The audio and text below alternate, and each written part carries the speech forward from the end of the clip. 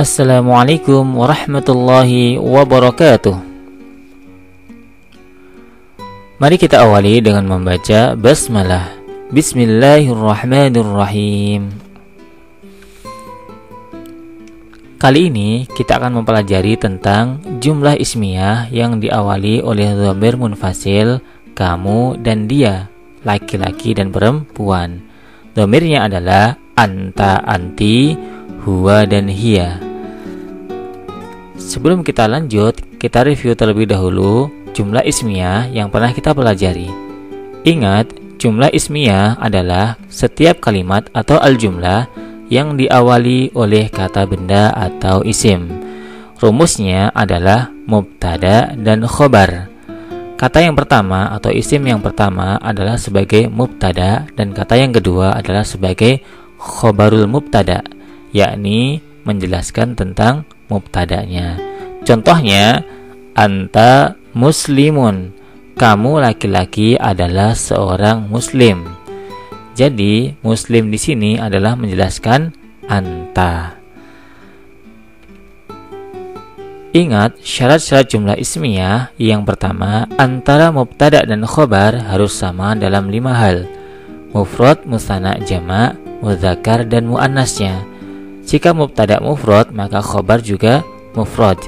Jika mubtada musanna, maka khobar juga harus musanna. Jika mubtada jama, maka khobar juga harus jamak. Begitu pula jika mubtada muzakkar, khobar juga harus muzakkar.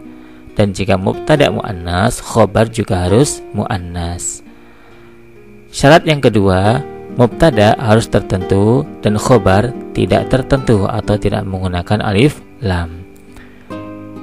Kata benda atau isim yang mengawali jumlah ismiyah antara lain yang pertama adalah isim mudhahir yang kedua, isim domir atau kata ganti orang. Dan ketiga adalah isim isyarah atau kata penunjuk.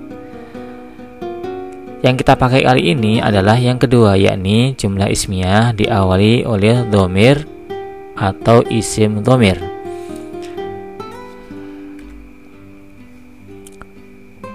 Sebelum ke pembuatan kalimat, kita review terlebih dahulu kata ganti nama orang yakni domir domir munfasil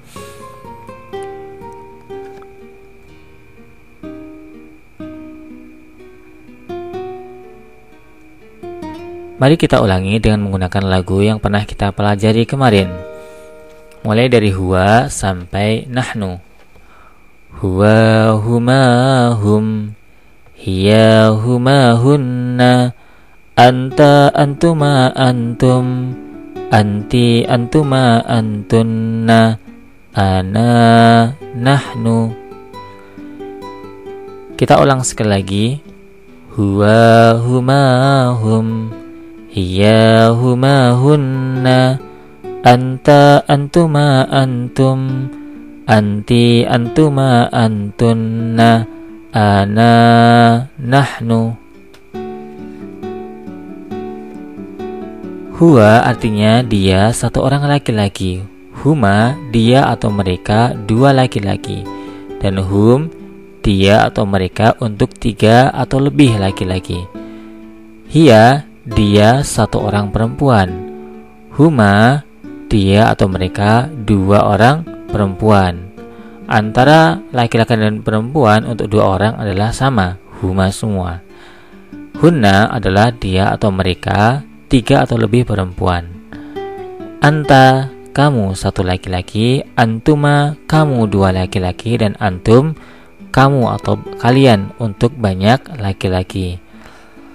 Anti, kamu satu perempuan, antuma, kamu dua perempuan, atau kalian dua perempuan, antuna, kamu atau kalian banyak perempuan. Ana, saya untuk laki-laki maupun perempuan, dan nahnu, kami untuk laki-laki dan juga perempuan. Sekarang kita masuk ke pembahasan materi yakni jumlah ismiyah yang diawali oleh domir munfasil anta anti huwa hiya.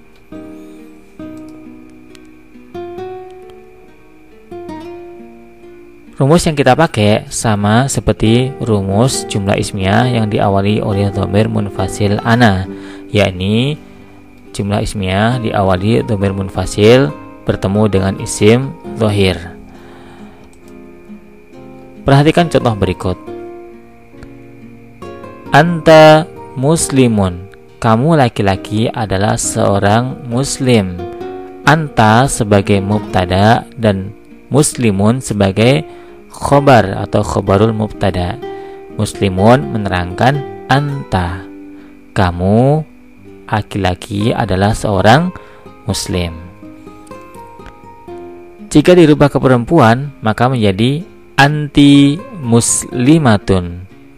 Kamu perempuan adalah seorang muslimah. Jadi anta menjadi anti.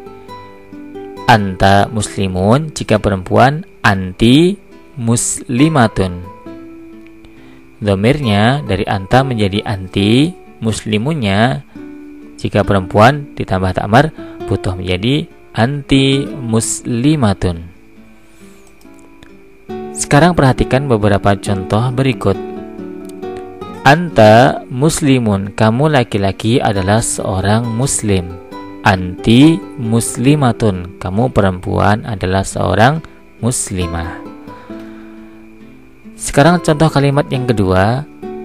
Anta tolibun. Kamu laki-laki adalah seorang murid.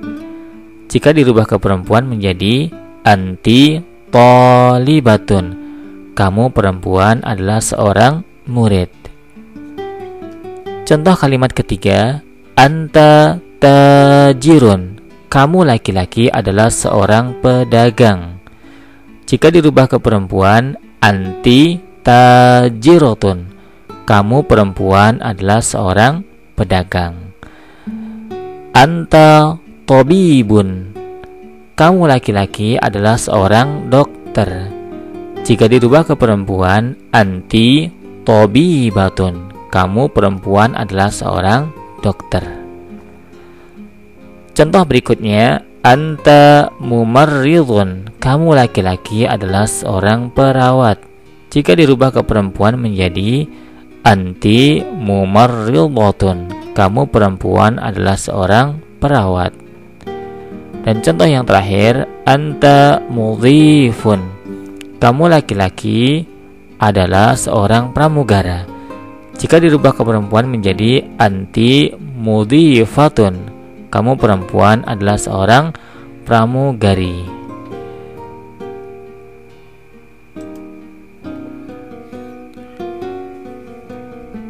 Contoh berikutnya, anta ustadzun. Kamu laki-laki adalah seorang guru. Jika dirubah ke perempuan menjadi anti ustadzatun. Kamu perempuan adalah seorang guru. Kalimat berikutnya, Anta tobibun Kamu laki-laki adalah seorang dokter. Jika dirubah ke perempuan menjadi Anti tobibatun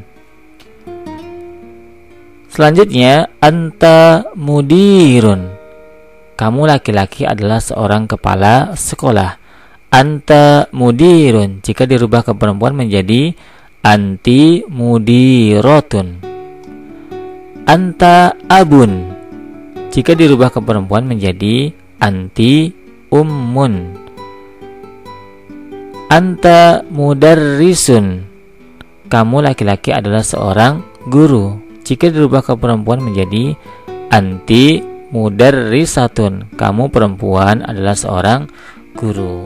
Contoh terakhir, anta ro'isul qaryah kamu adalah kepala desa. Jika dirubah ke perempuan menjadi anti roi satul koryah. Kamu perempuan adalah seorang kepala desa. Sekarang saatnya kata anta dan anti dirubah menjadi orang ketiga yakni huwa dan hia. Kalau tadi di pertama kita pelajari anta anti kamu laki-laki dan kamu perempuan sekarang domirnya kita ganti huwa dan hia dia laki-laki dan dia perempuan Perhatikan contoh kalimat berikut. Huwa muslimun. Dia laki-laki adalah seorang muslim. Huwa sebagai mubtada dan muslim sebagai khobar, yakni menerangkan huwa. Dia laki-laki adalah seorang muslim. Jika dirubah ke perempuan, huwanya menjadi hia dan muslimnya ditambah dengan takmar putoh. Huwa muslimun. Jika dirubah ke perempuan menjadi Hiya muslimatun. Dia perempuan adalah seorang muslimah.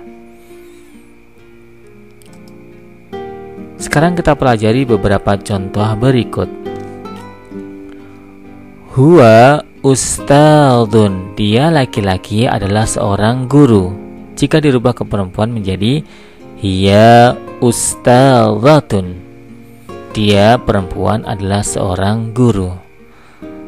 Sekarang kalimat berikutnya huwa tabibun. Jika perempuan hiya tabibatun.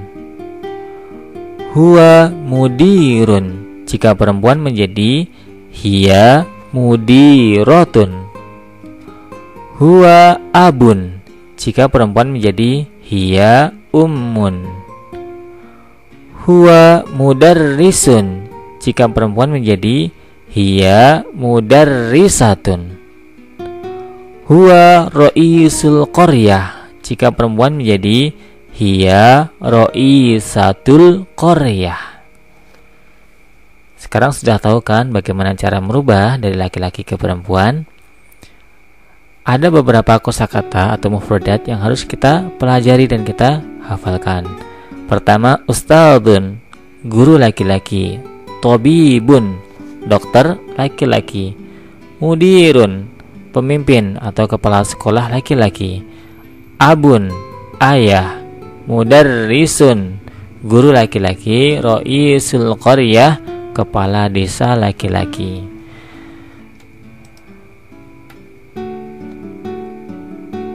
Kalimat berikutnya atau contoh berikutnya Huwa ro'isul madrasah Dia adalah dia laki-laki adalah kepala sekolah. Jika dirubah ke perempuan menjadi Hiya ro'i satul madrasah. Dia perempuan adalah kepala sekolah. Huwa sul fasli. Jika dirubah ke perempuan menjadi Hiya ro'i satul fasli. Huwa wazirun. Jika dirubah ke perempuan menjadi hiya waziratun huwa muhafidhun jika perempuan menjadi hiya muhafidhatun huwa mudarrisun. Jika perempuan menjadi hiya mudarrisatun. Huwa ra'isul majlis. Jika perempuan menjadi hiya ra'isatul majlis.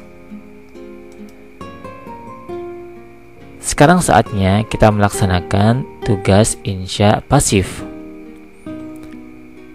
Tugasnya adalah terjemahkan kalimat berikut ke dalam bahasa Arab dengan mengacu pada rumus dengan memperhatikan mudzakkar dan muannasnya.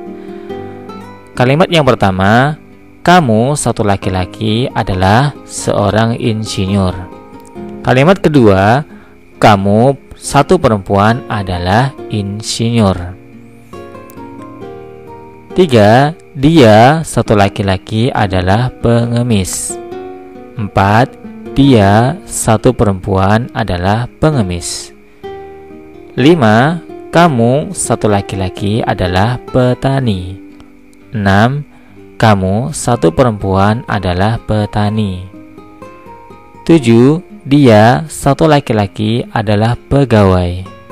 Delapan, dia satu perempuan adalah pegawai.